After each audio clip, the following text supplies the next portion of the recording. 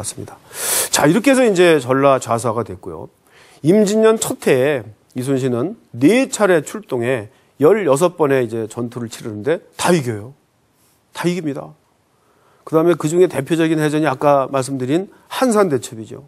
58척 대 73척이 싸웠는데 우리는 한 척도 격파가 안 되고 일본 수군은 73척 가운데 59척이 격파 및 납포가 됩니다. 거의 전멸이에요. 이 패배 소식을 들은 노요토미 히데요시가 다시 일본 수군한테 지시를 내립니다. 앞으로 조선 수군 만나면 해전하지 말고 회피하라. 이 정도로 우리가 알고 있는 것과는 달리 임진왜란 당시에 조선 수군은 혁신된 아주 높은 질적 수준을 유지하고, 유지하고 있었던 첨단 수군이었다. 이 말씀을 제가 말씀을 드리고 싶고요. 여러분 또 이순신 그러면 생각나는 게 삼도 수군 통제사잖아요. 이게 원래 임진년까지는 이 수군 통제사 제도가 없었어요. 그런데 이 임진왜란이 벌어지고 보니까 뭐 전라 자수사, 전라 우수사, 경상 우수사 여러 수사 함대 사령관들이 이제 있는데 직급이 똑같아요. 정삼품. 그러니까 지휘 체계가 통일이 안 되는 거야. 그래서 어 임진왜란이 벌어진 그 이듬해 1593년 괴사년에 이제 삼도수군 통제사를 그런 직책을 신설하는데 이순신이 제1대 삼도수군 통제사가 된 겁니다. 그렇게 해가지고 정유재란이 일어나기 직전에 통제사에서 파죽되기 전까지 이제 남해 바다를 책임지면서 해전을 승리로 이끄는 거죠. 자, 그래서 이제 주로 그 임진년 개사년부터 정유재란이 벌어지기 전까지 이순신이 한 일이 한산도에서 일본군의 서진을 차단한 겁니다. 한산도에서 남해의 바닷길을 차단함으로 인해서 이게 어떤 효과가 있느냐? 이게 한산도가 경상도 해역 깊숙이 있거든요.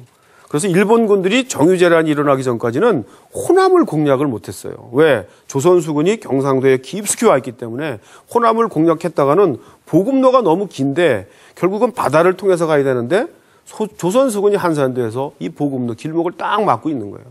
이게 굉장히 큰 역할입니다. 어, 조선수군이 한산도에서 이 남해 바닷길을 막음으로 인해서 저 서쪽에 이제 그 당시 임진왜란 후반이 되면 동쪽으로는 함경도를 다 점령을 하고 서쪽으로는 소수행장 부대가 평양까지 올라가는데 얘, 이, 이 얘네들이 이제 그 일본 선봉 주력 부대들이 전투를 지속하려면 제일 중요한 게 이제 보급이 뒤따라야 돼요. 당시 보급로는 육로가 아닙니다. 바다와 강이에요. 평양에 있는 소수행정 부대가 전투를 지속하기 위해서 보급을 받으려면 남해를 통해서 서해를 통해서 뭐 한강, 예성강, 대동강 이런 식으로 강을 통해서 보급로가 들어와야 되는데 이게 원천적으로 막힌 거예요. 그래서 임진왜란 그러면 명나라에서 구원한 것도 극복하는데 굉장히 중요한 요소지만 근본적으로 자체 내려놓고 보면 조선 수군이 한산도에서 남해의 바닷길 일본의 보급로를 원천적으로 막았기 때문에 일본은 자기네들이 의도하는 방식대로 일본 조선 침략 전략을 수행할 수가 없었다. 이런 말씀을 드리고요. 자, 그런데 드디어 이제 또 다시 통제사에서조차도 이순신이 파직되는 사건이 이제 벌어지는데요. 이 이유가 뭐냐면 당시 이제 정유재란이 이제 일어나는 그런 조짐이 보였고요. 그래서 다 아시는 가등청정, 갓도라는 이 일본 장소가 이제 건너온다는 정보가 있으니까 선조 임금이 이순신에게 통제사에게 출동을 해서 잡아라 이렇게 이제 명령을 내렸는데 여러 가지 이유 때문에 이 명령을 거절을 합니다. 한마디로 얘기해서 뭐 대통령이 지시를 했는데 삼도주군 통제사가 불복을 한 거죠. 결과는 어떻게 됐겠어요? 그래서 파직이 된 거예요, 결국은. 그리고 나서는 어떤 현상이 벌어지느냐. 다시 통제사가 된 원균이 조선수군을 지휘했는데 잘 아시다시피 어떻게 되죠? 7천량 해전에서 전멸에 가까운 패배를 당합니다. 이때 상황은 가장 조선수군의 전투력이 높았던 때예요. 그런데 지휘관이 하나 바뀜으로 인해서 이런 결과가 초래가 됐다. 어, 그래 되니까 이제 조정에서도 다른 방법이 없으니까 다시 이순신을 통제사로 임명을 해서 이제 맡겼는데 그 당시 상황은 함선이 다 없어졌어요. 어, 그래서 이제 이 이순신이라는 분 통제사가 돼가지고 결국은 저 전라도 장흥 회령포에서 경상 우수사 배설이라는 분이 이렇게 이제 도망쳐온 함선 세력이 있었는데 그게 한 10여 척이 돼요. 이 10여 척을 모태로 해서 이걸 이제 수습을 해가지고 결국은 명량해전을 승리로 이끄는 거거든요. 여러분 명량해전 13척이 뭐 300여 척과 싸워 이겼다. 이거에만 이제 주목을 하시는데 이 의미가 뭐냐면 그 당시 명량해전이 벌어질 당시에 일본 그 지상군은 호남을 쓸고 올라가 가지고 전부 초토화를 시켰어요. 호남을 다 장악하고 있었습니다. 그래서 이 호남을 영구히 장악하려는 그런 나름대로의 의도를 가지고 있었는데 그렇게 하려면 또 보급로가 뒤따라야 돼요. 그래서 남해를 통해서 서해를 통해서 이제 이렇게 보급로가 올라가면 호남을 다 장악할 수가 있는데 명량해전에서 다시 이겼어요.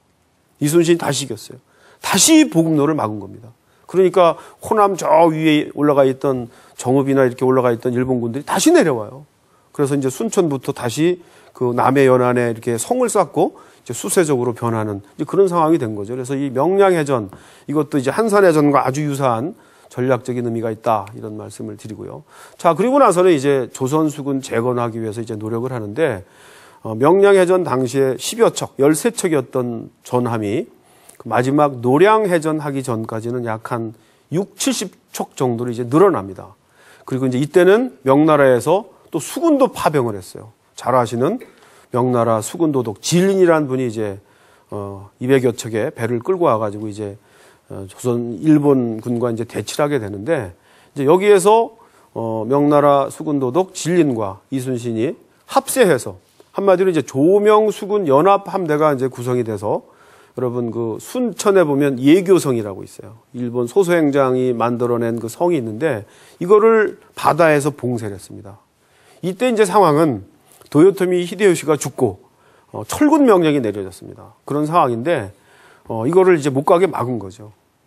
어, 이제 그러다 보니까 소소행장은 일본에서도 꽤 나름대로 지위가 있는 그 장수고 하니까 뭐 김해, 사천, 뭐 거제도 여기 여기에 있는 일본군들이 총 출동을 해서 500여 척이 소소행장 부대를 구하러 이제 오는 거예요. 이거를 이제 맞서 싸운 게 노량해전입니다. 그리고 여기에서 우리 우리의 위대한 리더 이순신이 여기에서 순국을 하시는 거죠. 한마디로 명량 노량해전에서의 이순신의 순국은 오늘도 이 충이라고 하는 게 이제 주제인데 위국 헌신한 이순신 충성의 극치가 아닐까 이런 생각을 해볼 수 있습니다.